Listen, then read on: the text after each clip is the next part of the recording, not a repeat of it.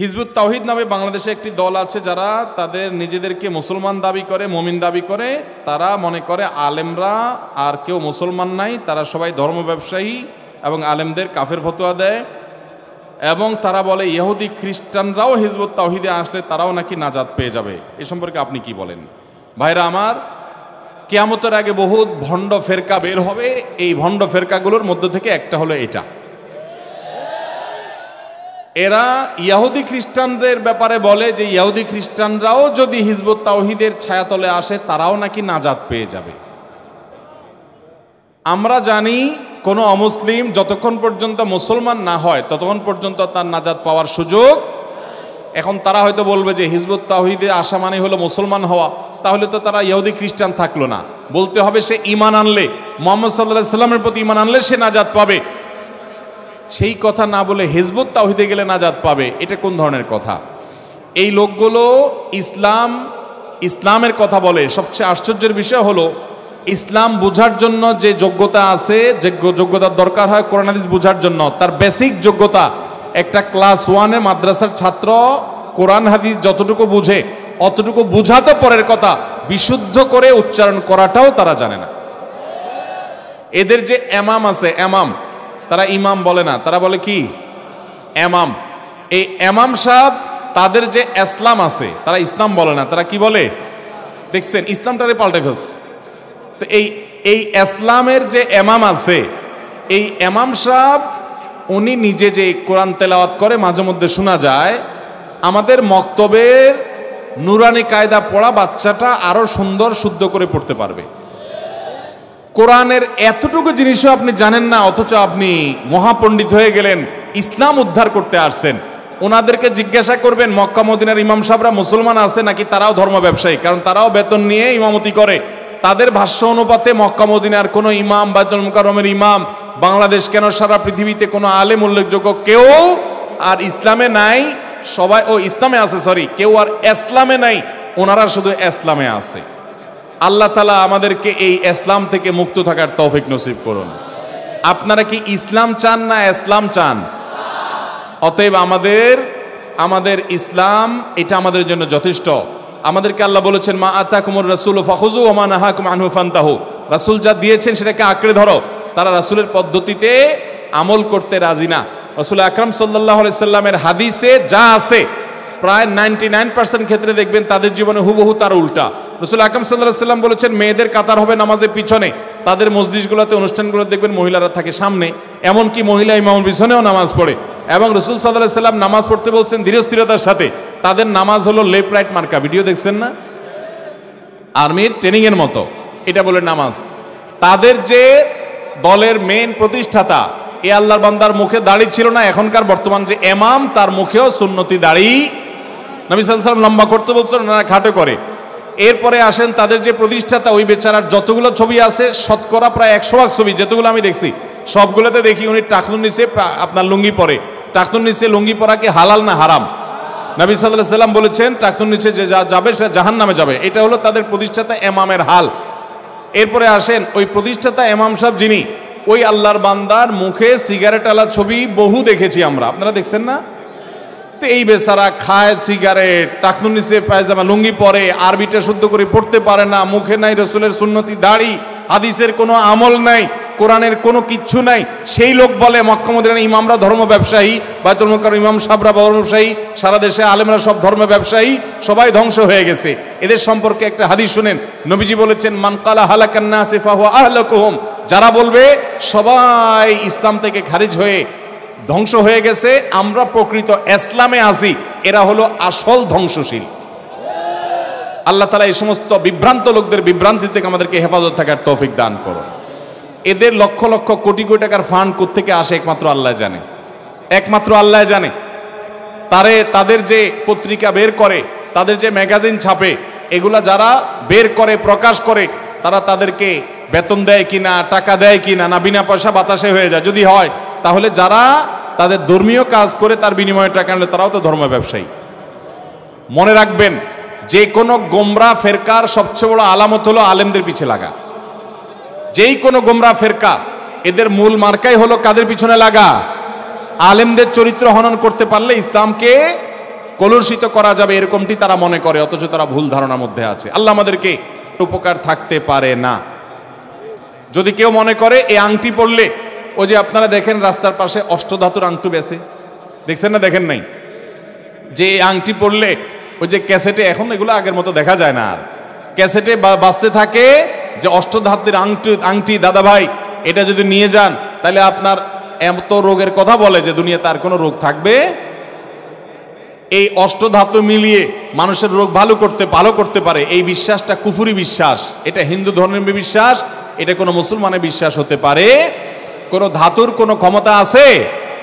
আপনি কোনো ওষুধ সেবন করেন ওষুধের মধ্যে আল্লাহ প্রভাব রাখছেন, সেটা ভিন্ন বিষয়। কিন্তু এরকম কোনো আংটি ফাংটি পরবেন আর সুস্থ হবেন, এরকম বিশ্বাস করলে ইমান নষ্ট হতে পারে। মোবাইলের মাধ্যমে বিয়ে সম্পাদন করা ইসলামের দৃষ্টিতে কতটুকু সঠিক বা জায়েজ? মোবাইলের মাধ্যমে যদি বিয়ের আয়োজন করতে চায় কেউ, ধরুন পাত্র বিদেশে আছে, পাত্রী দেশে, মোবাইলের মাধ্যমে বিয়ে সম্পাদন করতে চায়, তাহলে তার পদ্ধতি হলো যে বাহির থেকে পাত্র দেশে তার কোনো বন্ধুকে, ভাইকে, কাছের কোনো লোককে প্রতিনিধি বানাবে, ফোনে বলবে, আমি তোমাকে দায়িত্ব দিলাম, অমুকের মেয়ে অমুক, এই মহারণার বিনিময়ে আমার পক্ষ থেকে তুমি প্রস্তাব করবা, কিংবা তারা প্রস্তাব করবে, আমার পক্ষ থেকে তুমি কবুল বলবা। দুজন সাক্ষীর সামনে। এটা দায়িত্ব দিবে একজনকে। সে দায়িত্ব পালন করে বলবে, আমার অমুক বন্ধু বা অমুক ভাইয়ের তরফ থেকে তার প্রতিনিধি হিসাবে আমি কবুল করলাম, তার তরফ থেকে সে যে আমাকে দায়িত্ব দিয়েছে, তার পালনার অংশ হিসাবে। এটা ভিডিও কলেও হতে পারে আরও ভালো হবে আরও রিস্ক ফ্রি হবে। এটা কেন? সে ডাইরেক্ট কবুল বলতে পারবে না কেন? সেটা অনেক দীর্ঘ আলোচনার বিষয়। ফেক্ষি সূক্ষ্ম কিছু বিষয় আছে, যেগুলোর কারণে এটা জটিল। প্রতিনিধি বানানো যায় এভাবে, কিন্তু বিয়ের মতো সিরিয়াস ইস্যু এরকম ধোঁয়াশাপূর্ণভাবে দূর থেকে করবেন।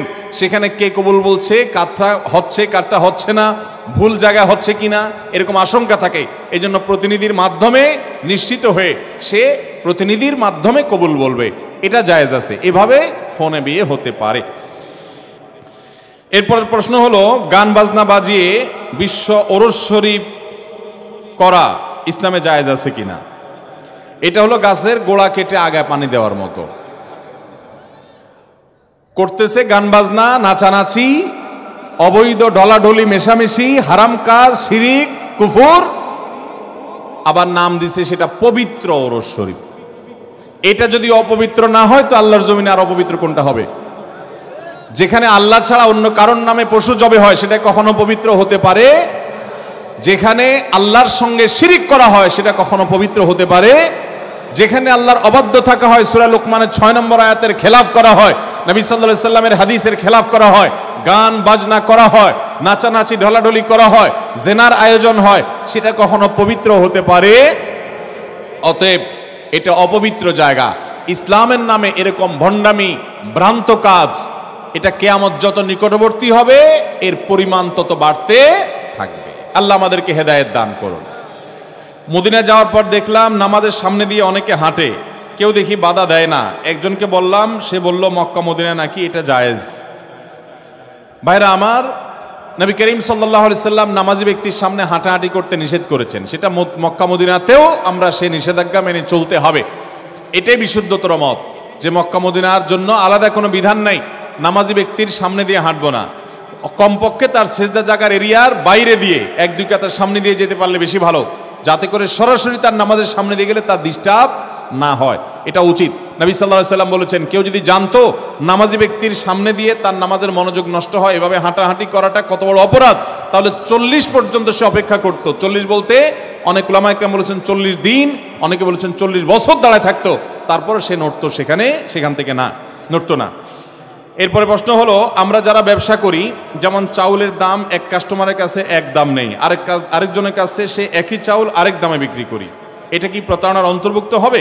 কিংবা কাপড় দোকানের ক্ষেত্রে যেই কাপড় আমি একজনের কাছে পাঁচশো টাকা বিক্রি করলাম আবার সেই একই কাপড় অন্যজনের কারণে আমি এক হাজার টাকা বিক্রি করলাম তাহলে কি সেটা কাস্টমারের সাথে প্রতারণা বা জুলুমের অন্তর্ভুক্ত হবে কিনা? আহ, না এটা জুলুম হতে যাবে কেন? আমি কোনো এক কাস্টমারকে আমি ছাড় দেব আমার পরিচিত লোক তাকে আমি তো লসেও দিতে পারি তাকে আমি কম লাভেও দিতে পারি।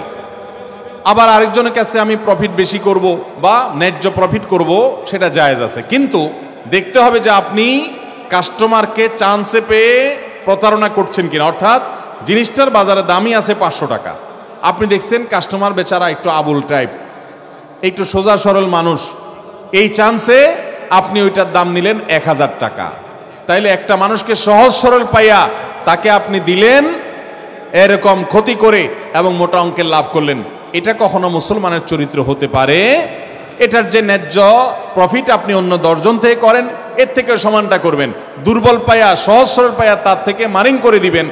অতিরিক্ত লাভ নেবেন, সেটা অবশ্যই কি হবে? গুণা হবে। এমনিতে আপনি মনে চাইলো, পরিচিত একজনকে কমে দিচ্ছেন আরেকজনকে বেশি দিচ্ছেন আহামরি ঠকান নাই, সরু সোজা পেয়ে, দুর্বল পেয়ে, তাহলে সেটা যায় আছে।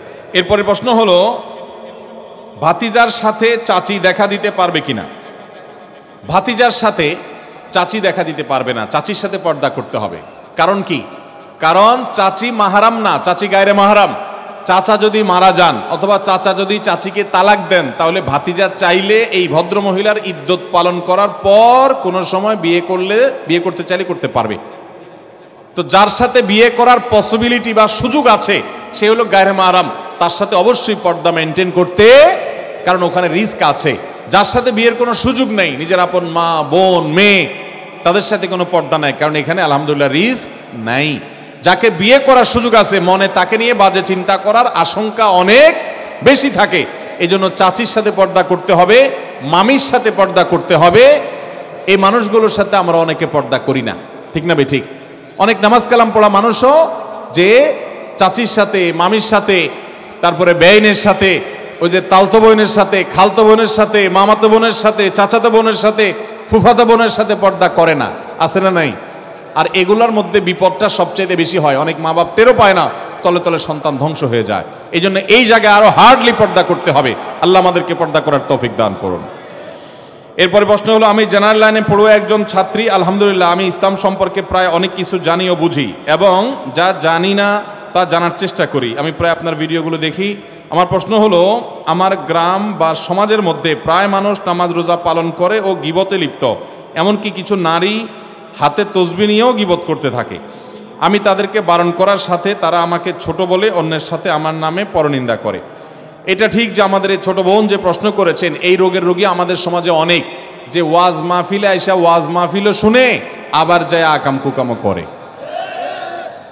ওয়াজ মাহফিলে এসে হাজি সাহেব, গাজী সাহেব সাজে, মোবাইলের মধ্যে হুজুরের ওয়াজও রাখে, আবার অনেক আওয়াজও রাখে। তো এই রকম মানুষ যদি হয়, তাহলে এটা নিজের সাথে নিজে প্রতারণা করার সামিল। ভাইরা আমার, দুই নম্বর কোনো মানুষের জন্য জান্নাত না, জান্নাত পিওর মানুষের জন্য। আল্লাহ আমাদেরকে হারাম ছাড়ার তৌফিক দান করুন। অতএব হারাম ছাড়তে হবে, শুধুমাত্র ভালো কাজ করলেন আর হারাম ছাড়লেন না, মন্দ কাজ ছাড়লেন না, তাহলে আপনি মুত্তাকি হতে পারবেন না।